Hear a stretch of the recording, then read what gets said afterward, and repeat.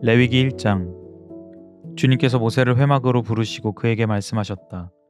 이스라엘 자손에게 말하여라. 너는 그들에게 다음과 같이 일러라.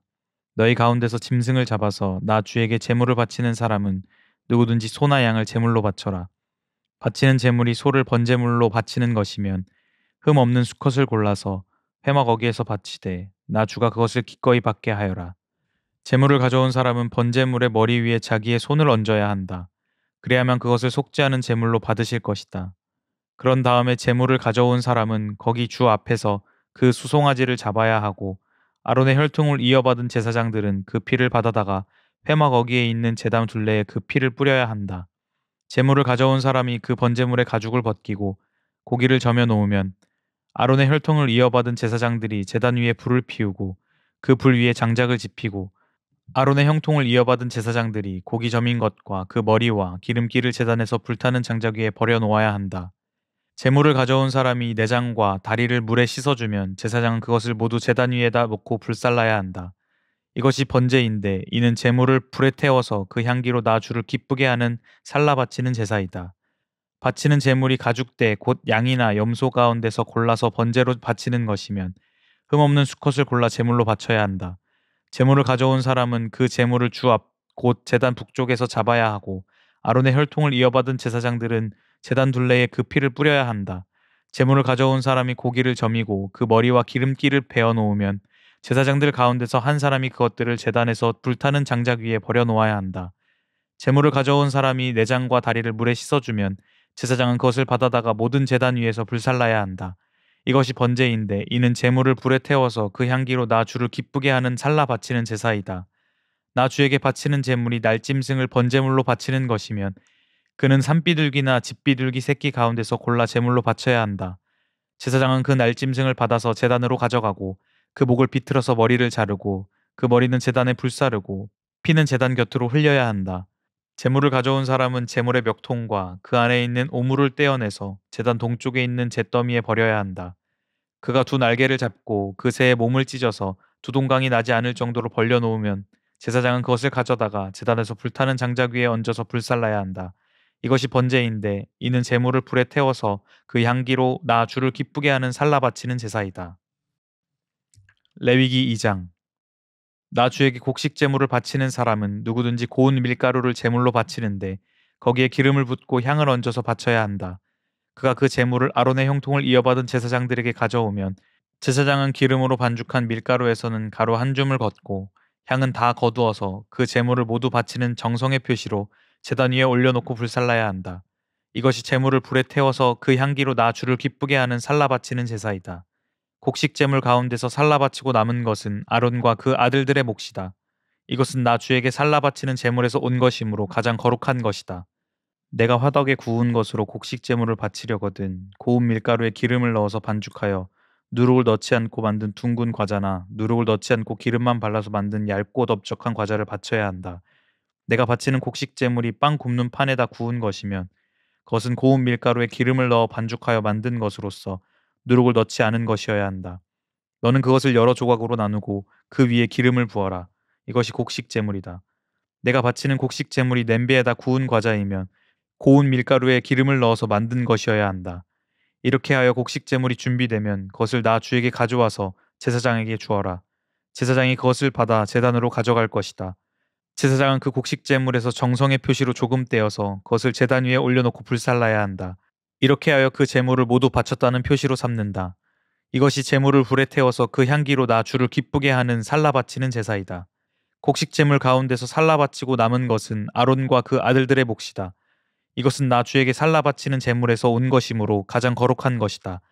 너희가 나 주에게 바치는 곡식 재물은 어떤 것이든지 누룩을 넣지 않은 것이어야 한다. 나 주에게 살라 바치는 제사에서 어떤 누룩이나 꿀을 불살라서는 안 되기 때문이다. 너희가 맨 먼저 거둔 곡식을 제물로 바칠 때에는 나 주에게 누룩과 꿀을 가져와도 되지만 나 주를 기쁘게 하는 향기를 내려고 그것을 제단 위에 올려놓아서는 안 된다. 내가 바치는 모든 곡식 제물에는 소금을 넣어야 한다. 내가 바치는 곡식 제물에는 내 하나님과 언약을 세울 때에 넣는 그 소금을 빼놓지 말아라. 내가 바치는 모든 제물에는 소금을 넣도록 하여라. 내가 맨 먼저 거둔 것을 나 주에게 곡식 제물로 바칠 때에는 햇곡식을 불에 볶거나 찌은 것으로 곡식 제물을 바쳐야 한다. 그 위에 기름과 향을 놓아라. 이것이 곡식 제물이다. 제사장은 제물을 모두 바치는 정성의 표시로 곡식과 기름에서 조금 갈라내어 향 전부와 함께 불살라야 한다. 이것이 나 주에게 살라 바치는 제사이다. 레위기 3장 화목제사 제물을 바치는 사람이 소를 잡아서 바칠 때에는 누구든지 수컷이거나 암컷이거나 흠이 없는 것을 골라서 주 앞에 바쳐야 한다. 제물을 가져온 사람은 자기가 바칠 제물의 머리 위에 손을 얹은 다음에 회막 어기에서 그 제물을 잡아야 한다. 아론의 혈통을 이어받은 제사장들이 그 피를 제단 둘레에 뿌릴 것이다. 제물을 가져온 사람은 화목제물 가운데서 내장 전체를 덮고 있는 기름기와 내장 각 부분에 붙어 있는 모든 기름기와 두 콩팥과 거기 덮여 있는 허리깨의 기름기와 콩팥을 떼어낼 때 함께 떼어낸 간을 덮고 있는 껍질을 나주에게 살라 바치는 제물로 가져와야 한다. 그러면 아론의 아들들이 그것들을 재단에서 불타는 장작 위에 올려놓은 번제물 위에다 놓고 불사를 것이다. 이것이 제물을 불에 태워서 그 향기로 나 주를 기쁘게 하는 살라 바치는 제사이다.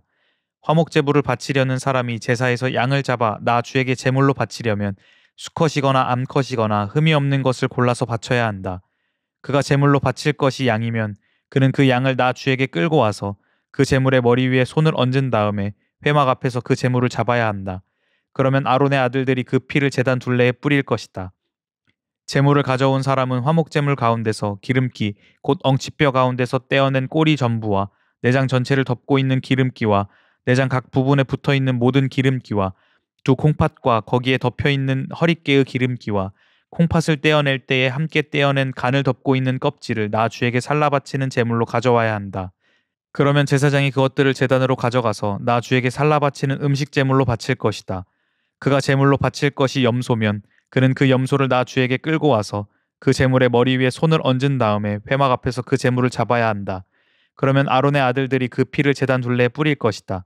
제물을 가져온 사람은 제물 가운데서 내장 전체를 덮고 있는 기름기와 내장 각 부분에 붙어 있는 모든 기름기와 두 콩팥과 거기에 덮여 있는 허리깨의 기름기와 콩팥을 떼어낼 때 함께 떼어낸 간을 덮고 있는 껍질을 나 주에게 살라 바치는 제물로 가져와야 한다.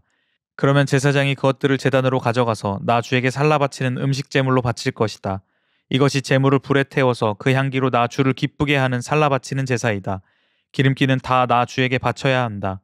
이것은 너희가 어느 곳에서 살든지 대대로 영원히 지켜야 할 규례이다. 너희는 어떤 기름기도 어떤 피도 먹어서는 안 된다. 레위기 4장 주님께서 모세에게 말씀하셨다. 너는 이스라엘 자손에게 다음과 같이 일러라. 어떤 사람이 실수로 잘못을 저질러 나 주가 하지 말라고 명한 것을 하나라도 어겼으면 다음과 같이 하여야 한다. 특히 기름 부음을 받고 임명받은 제사장이 죄를 지어서 그 벌이 백성에게 돌아가게 되었을 경우에 그 제사장이 지은 죄를 용서받으려면 소떼 가운데서 흠없는 수송아지 한 마리를 골라 속죄 제물로 주에게 바쳐야 한다. 그는 그 수송아지를 주 앞 곧 회막 어기로 끌고 가서 그 수송아지의 머리 위에 손을 얹은 다음에 주 앞에서 그 송아지를 잡아야 한다. 그리고 기름 부음을 받고 임명받은 제사장이 그 수송아지의 피를 얼마 받아서 그것을 회막 안으로 가지고 들어가서 제사장이 직접 손가락으로 피를 찍어 주 앞 곧 성소에 친 휘장 앞에서 일곱 번 뿌려야 한다. 제사장은 또 그 피의 얼마를 회막 안 주 앞에 있는 분양단 뿔에 돌아가면서 두루 바르고 나머지 수송아지의 피는 모두 회막 어기에 있는 번제단 밑바닥에 쏟아야 한다. 그런 다음에 그는 속죄제물로 바친 그 수송아지에서 기름기를 모두 떼어내야 한다. 떼어낼 기름기는 내장 전체를 덮고 있는 기름기와 내장 각 부분에 붙어 있는 모든 기름기와 두 콩팥과 거기에 덮여 있는 허리깨의 기름기와 콩팥을 떼어낼 때 함께 떼어낸 간을 덮고 있는 껍질이다. 마치 화목제물이 된 소에게서 기름기를 떼어낼 때와 같이 그렇게 떼어내어 제사장이 직접 그것들을 번제단 위에 올려놓고 불살라야 한다. 수송아지의 가죽과 모든 살코기와 그 수송아지의 머리와 다리와 내장과 똥과 그 수송아지에게서 나온 것은 모두 짐 바깥 정결한 곳, 곧 재 버리는 곳으로 가져가서 잿더미 위에 장작을 지피고 그 위에 올려놓고 불살라야 한다. 그 수송아지는 재 버리는 곳에서 불살라야 한다. 이스라엘 온 회중이 실수로 함께 책임져야 할 잘못을 저지르면 그것은 비록 깨닫지 못하였을지라도 죄가 된다. 나 주가 하지 말라고 명한 모든 것을 하나라도 어겨서 벌을 받게 되면 그들이 지은 죄를 그들 스스로가 깨닫는 대로 곧바로 총에는 소떼 가운데서 수송아지 한 마리를 골라 속죄제물로 바쳐야 한다. 수송아지를 회막 앞으로 끌어오면 회중을 대표하는 장로들은 주 앞에서 그 수송아지의 머리 위에 손을 얹은 다음에 주 앞에서 그 수송아지를 잡아야 한다. 그리고 기름 부음을 받고 임명받은 제사장은 그 수송아지의 피를 얼마 받아서 회막 안으로 가지고 들어가서 제사장이 직접 손가락으로 그 피를 찍어 주 앞 곧 휘장 앞에서 일곱 번 뿌려야 한다. 그는 또 회막 안 주 앞에 있는 제단 뿔에 그 피를 조금씩 바르고 나머지 피는 모두 회막 어기에 있는 번제단 밑바닥에 쏟아야 한다. 그런 다음에 그는 그 수송아지에게서 기름기를 모두 떼어내게 하여 그것을 받아 제단 위에 올려놓고 불살라야 한다. 그는 이렇게 수송아지를 다루면 된다. 이 수송아지도 속죄제물로 바친 수송아지를 다루듯이 다루면 된다. 제사장이 이렇게 회중의 죄를 속하여 주면 그들은 용서를 받는다. 제사장은 그 수송아지를 진 바깥으로 옮겨 앞에서 말한 수송아지를 불사를 때와 같이 그렇게 그것을 불살라야 한다. 이것이 바로 회중의 죄를 속하는 속죄 제사이다.